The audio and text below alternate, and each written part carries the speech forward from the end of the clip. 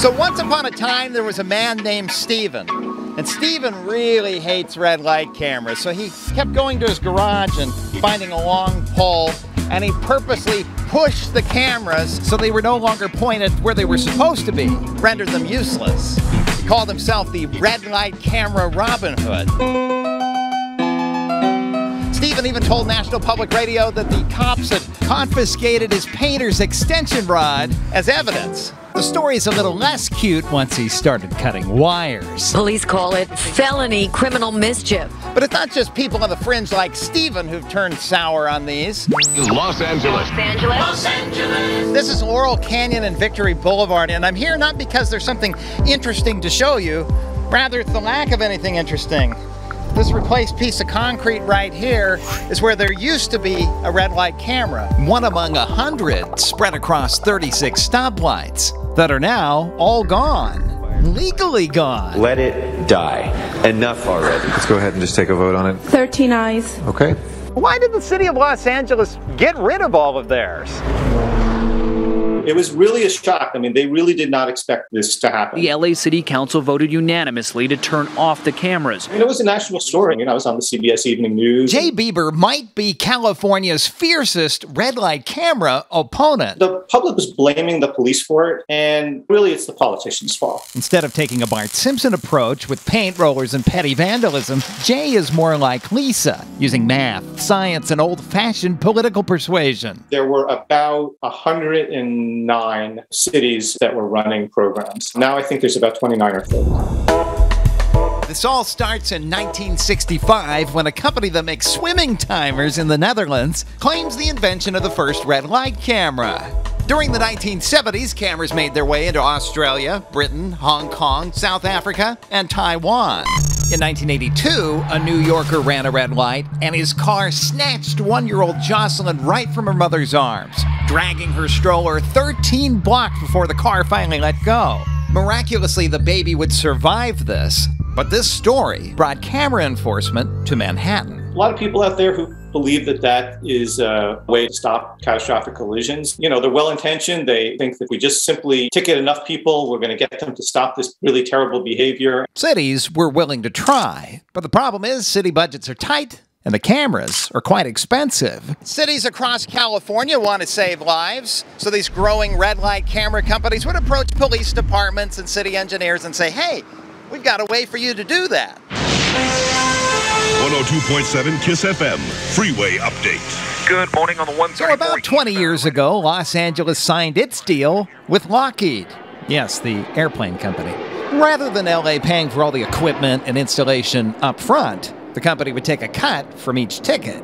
Here's how it breaks down the state legally sets the ticket price, $271 at the time, with California keeping half, another 60 bucks to Lockheed to pay for the cameras, and the city gets the rest. This is called a revenue sharing agreement. Since the city is paying as they go, one red light runner at a time. When cities don't have to come up with millions of dollars up front, a revenue sharing contract makes a red light camera system really accessible to pretty much any city. And city councils would eagerly vote yes. Revenue sharing helped camera programs explode from coast to coast, from a few dozen cities to over 500. But revenue sharing comes with a big paradox. Cameras that work, well, they also stop generating revenue. Money needed for that camera to keep existing there. Look at all these people running red lights. All right, let's put in a camera and ticket time! Revenue sharing means some of that money is paying off the camera. But let's say it works perfectly and nobody runs a red light ever again. Well, the money dries up and there's no way to pay off that camera. But one that doesn't really reduce red light running can keep printing tickets forever. You know what this reminds me of? Online dating. Bear with me. I pay them monthly so they can solve my problem. I want to meet a girl and pair off. If I don't believe their service works, I'm not going to pay them anything. But if I do believe it works, and it does, well, I'm also going to stop paying them.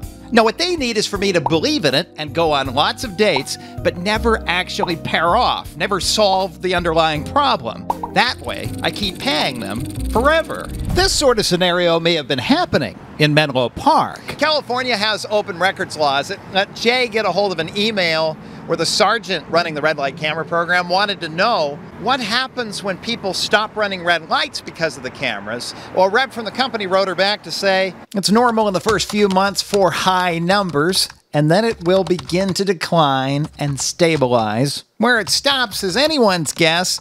I can say at intersections that have right turns enforced, those continue to produce consistent numbers consistent numbers. Like I thought the goal was to have zero as the number. Jay tells me he believes red light camera companies and cities that operate them may be too good at targeting the wrong kind of violation. We tend to think of it all as one thing, as red light running, but we can break it down into three main categories, which is straight through red light running. That's you know when you're you're going straight through the intersection. The really dangerous kind that red light cameras are designed to prevent cars charging straight ahead at full speed, causing potentially deadly T bone crashes. There's red, red light running that has to do with making a left turn. When there's no green arrow, we have to judge an acceptable gap.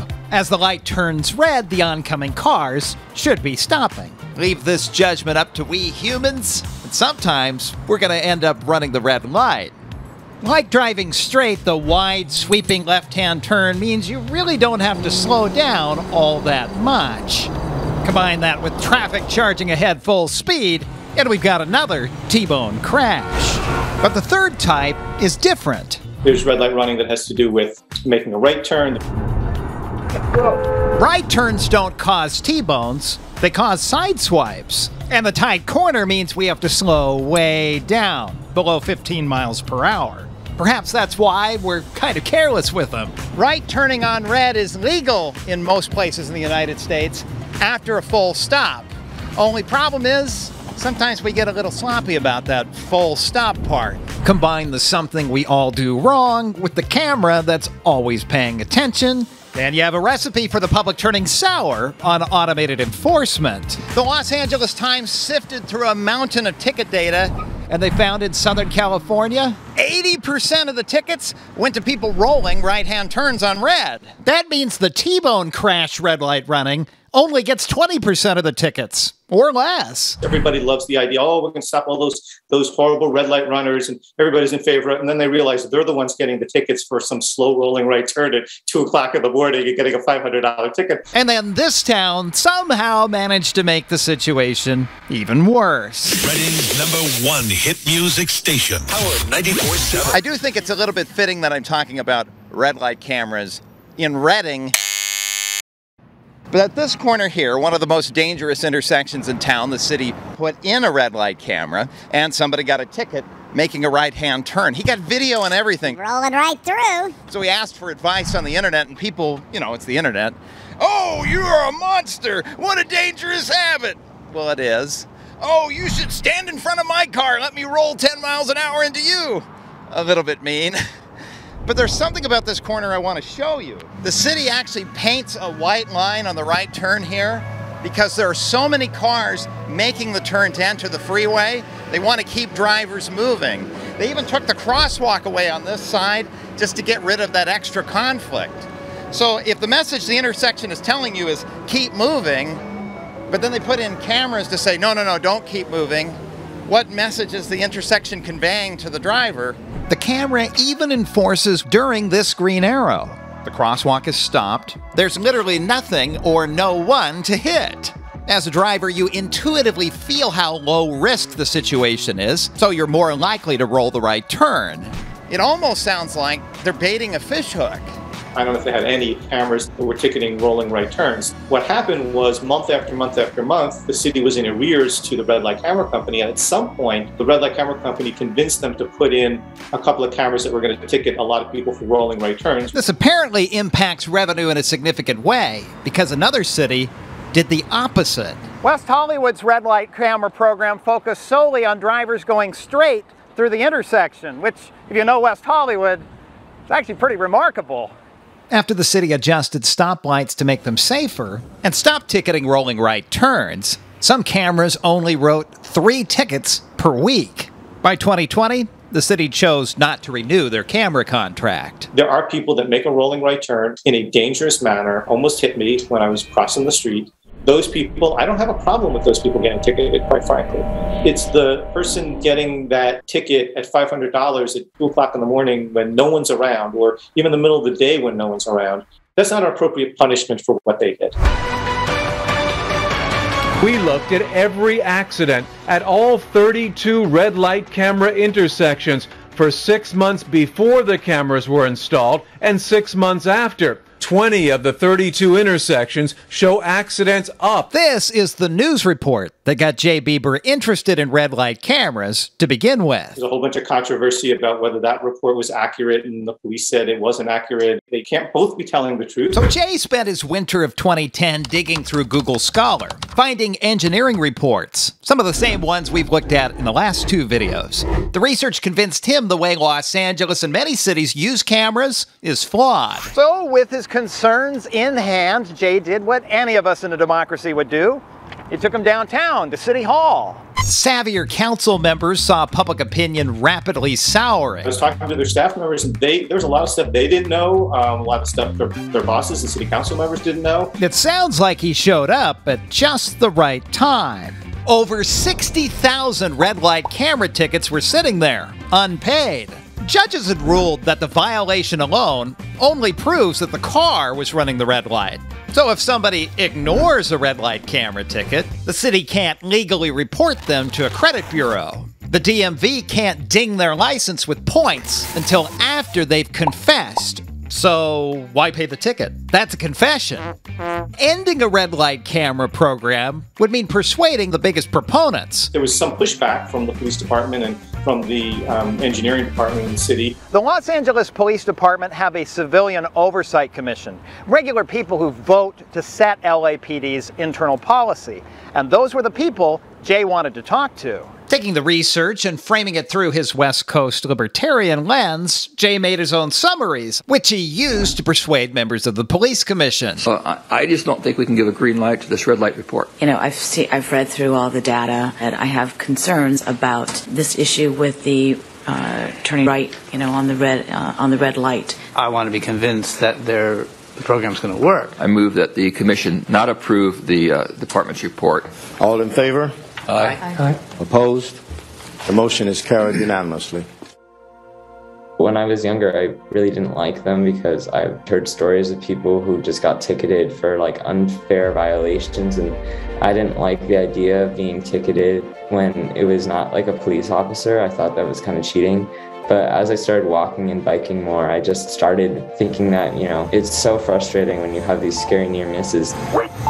Petru hasn't even started college yet, but he's already trying to advocate to make the streets safer near where he lives. Massachusetts has a bill that would make red light cameras legal. There's a way to do it right. We all learn a lot from forcing ourselves to think the opponent's side.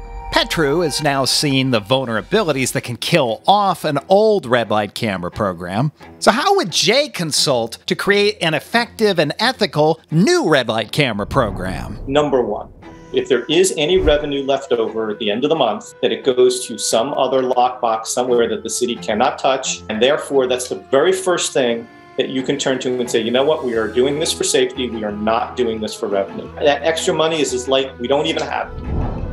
Number two is I would do everything I possibly could to make sure that people have enough light time, that they have enough information as to what they need to do to comply with the law. If you do the engineering properly, you're not going to have a red light running problem.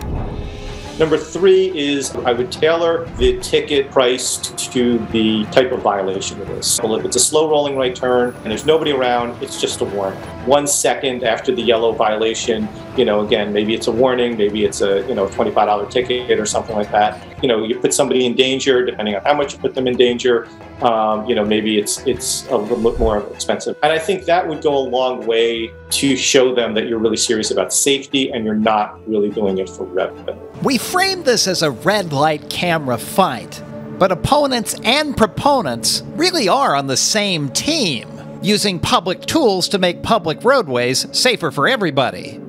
I get the impression that Jay's crusade against red light cameras in LA is not red light Robin Hood's anarchy. In fact, it's quite the opposite. When you engender distrust between the public and the police, between the public and elected officials, between the public and the courts, it breaks down society. You don't want to give people the idea that you're out there to make money on them and we lose faith in our institutions. And, and we need government, we need our institutions, and we need people to have trust. Uh, the, the government, their elected officials are out there trying to help them, not trying to make money. To learn more how red light cameras work and how to fix dangerous stoplights, check out May and June's red light camera videos. But there's a lot more than red light cameras. Coming soon.